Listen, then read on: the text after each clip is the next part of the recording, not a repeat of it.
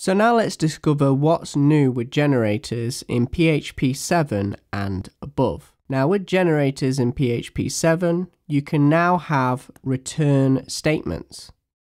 So with return statements, you can see here that what I'm doing is I'm invoking the values generator function, creating a control object and storing it within the control variable.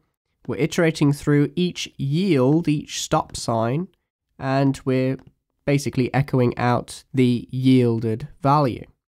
So if I hit refresh, this is what we get 200, 300, like so, but we do not get 500. So if you're using the next and current methods, or if you're using a for loop like I'm doing here, then all you're going to get is the yielded values. However, in order for me to get the return value, we need to say, let's say echo. Let's put in a line break right here. And then on there, we want to concatenate this value, this integer that's going to be returned, 500. And again, we need to control the execution of our generator function. And we want to run the get return method. So now when I run the get return method, it's going to return the value of 500, the value within the return statement. And again, this value could be an object, it could be even a callable object if you wanted it to be.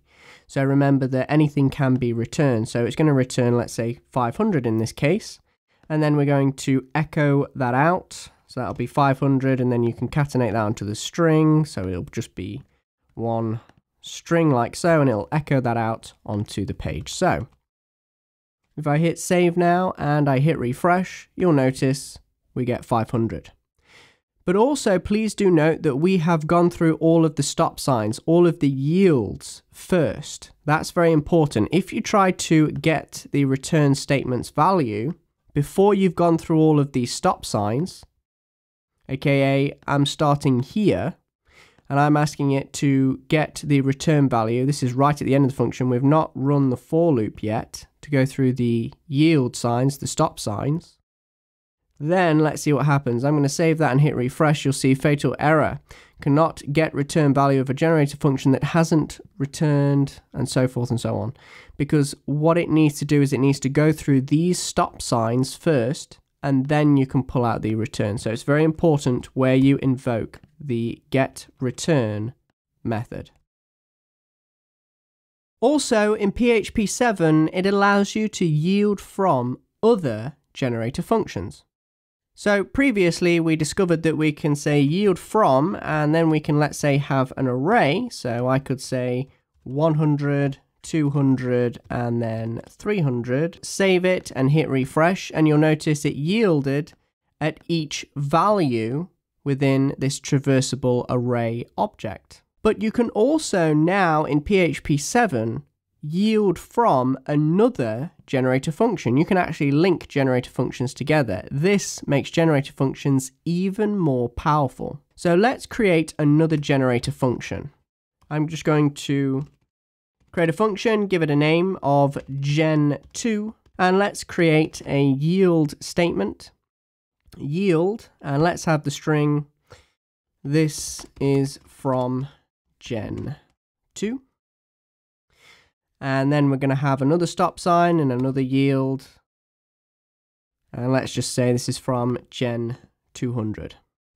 So now what I'm going to do is I'm going to say yield from and I'm going to yield from gen 2 and we want to invoke that function. So you can see here that we are invoking another generator function and this generator function has two yields. So let's save it and hit refresh and you'll notice it says this is from gen 2 and this is from gen 200 which came from this generator. And again, you can place this yield wherever you want. You could place it above the return statement. Your return statement must be at the end of the execution context, but you could put it anywhere in between the start of the execution context and the return statement. But I put it right at the top here, so we've got these values right at the top.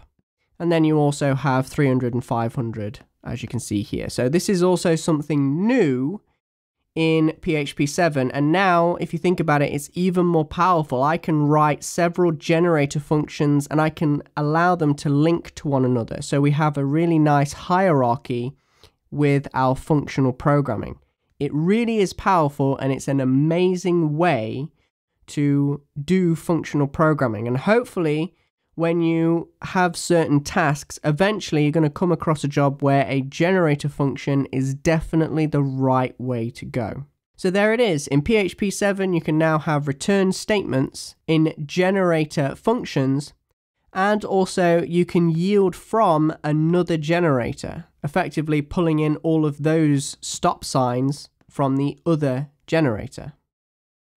And again, you could keep going with this. I could have Gen 3, like this. This is Gen 3, like so.